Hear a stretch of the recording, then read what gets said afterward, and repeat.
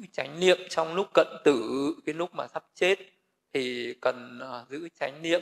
Thì uh, cái lúc cái lúc này cái lúc mà tránh uh, à, lúc cận tử ấy, thì uh,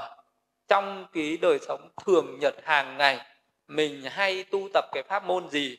thì cái thời cận tử mình hãy để tâm đến cái pháp môn đó. Nếu như một cái người mà trong thường nhật hàng ngày người đó hay làm cái việc như là bố thí thì lúc cận tử hãy nghĩ đến việc bố thí của mình và nguyện sinh thiên hoặc nguyện sinh hiện làm người để trở thành người như thế nào ở trong tương lai lúc đấy mình nguyện thì nó thành tịnh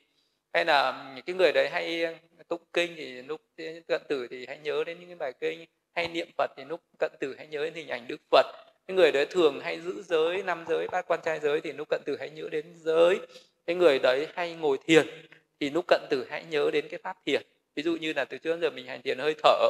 uh, sung mãn rất là lâu năm thì bây giờ lúc cận tử mình hãy để tâm vào hơi thở và giữ chánh niệm và ra đi với cái hơi thở đó. Thì đấy là mình nhớ lại những thiện nghiệp của mình nhớ lại những cái pháp môn tu thiện pháp của mình à, và cố gắng duy trì cái tâm tỉnh giác chánh niệm đó đến cái lúc mà mình tắt thở à, đừng để nó tán loạn. Vậy thì cái lúc đấy mình muốn giữ được chánh niệm thì đừng có để cho cái tâm nó loạn tạ năng xăng những người thân ở xung quanh người ta phải biết hộ trì người ta đừng có gào thét người ta đừng có náo loạn lên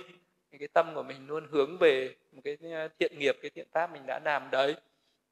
Một cách rất là vững chắc thì mình sẽ ra đi với chánh niệm. Thì ra đi với chánh niệm thì ờ, tương lai của mình sẽ rất là thù thắng rất cao thượng. Ra đi với cái tâm tán loạn thì rất nguy hiểm có thể bị đọa vào cõi khổ đau. Vậy thì uh,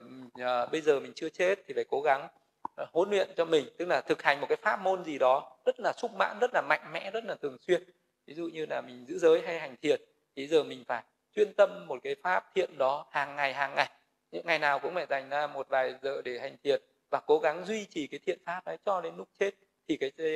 cái thiện nghiệp đấy nó rất là mạnh và mình chết với cái thiện nghiệp đấy thì rất là thù thắng.